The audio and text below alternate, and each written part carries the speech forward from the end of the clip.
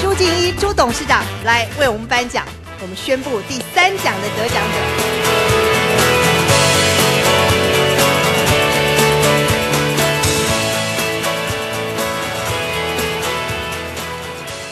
我只看到奖金五十万元。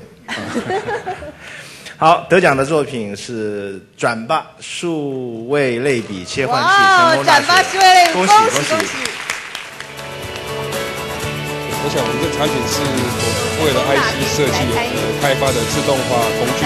然后 IC 设计功大大概有。两大类的电路，一大类电路是数位电路，另外一大类电路是类比电路。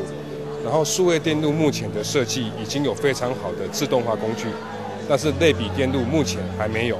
可是一个真正的 IC 需要这两个电路一起存在才能够正常工作。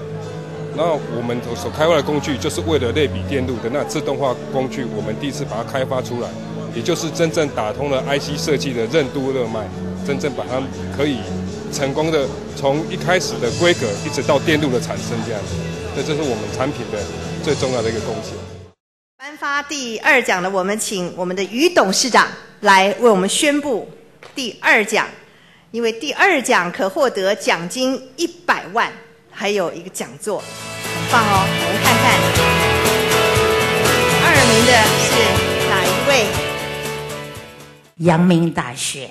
拟人化之拮抗性 CLEC 五 A 单株抗体，对不对？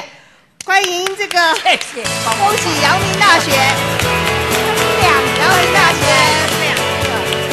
这个抗体呢是可以用来治疗登革热的出血啊。根据世界卫生组织的统计，我们知道全球每年至少有五千起的登革热的一个病例，其中有二十五到五十万的案例会衍生出非常严重的登革出血，这个是会造成病人休克的一个死亡。致死者大概都是幼童。那很不幸的是，这类的一个登革出血热，目前并没有一个专一性的一个疗法。也因此，我们想要是去开发 c l e c 5拮抗性单株抗体，成为一个能够治疗登革出血以及登革热的一个药物。评审团队认为这次作品非常非常的精彩，所以特别再多增加一百万，增加了第二奖。看这个幸运儿是谁？我们欢迎我们殷董事长上台来为我们宣布这个幸运的多出来的第二奖得奖的团队是哪一位？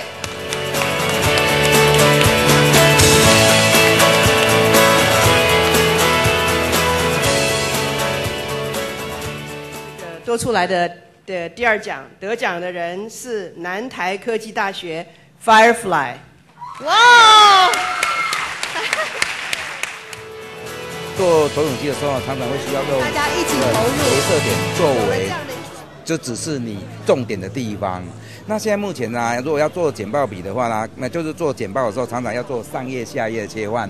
那它有一个特殊的简报笔，那这样子的话呢，它跟它又有一个剪报笔，又有一个镭射笔，这样很麻烦。我们希望把这两个东西要融合在一起，只要一支简单的镭射笔就可以做到剪报的功能。不仅这样而已，我们还希望扩展到它具有滑鼠的功能。镭射笔就跟滑鼠一起动，而且位置呢一致哈。来，我们这边连写就打开了，连写就打开了。好好，我们要把它关掉啊，关了。好，所以它操作上面很简单。这个紧张的时刻到了，我们欢迎我们的创办人施振荣施先生来，我们宣布第四届龙腾微笑竞赛的首奖可以独得奖金两百万元。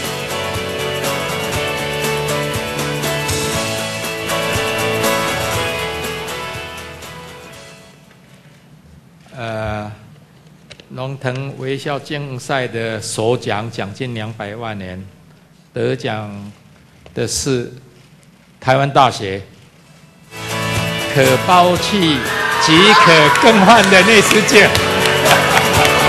恭喜恭喜！来一个热情的欢呼，快点给自己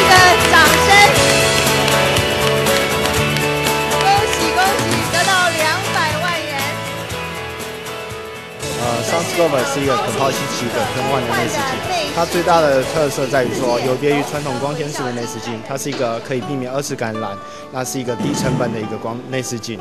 那在于不同的用途里面，它可以更换不同尺寸的 size。那对于小小诊所或是兽医院来说，这算是一个非常好的一个内视镜的设备。